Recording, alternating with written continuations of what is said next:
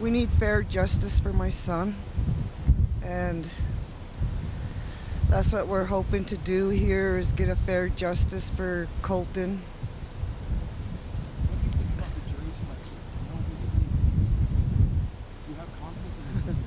No and it sucks, but that's all I gotta say.